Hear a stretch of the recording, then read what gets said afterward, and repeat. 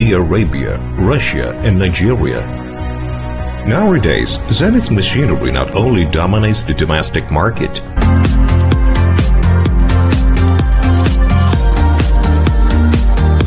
times and samples over 1,000 pieces.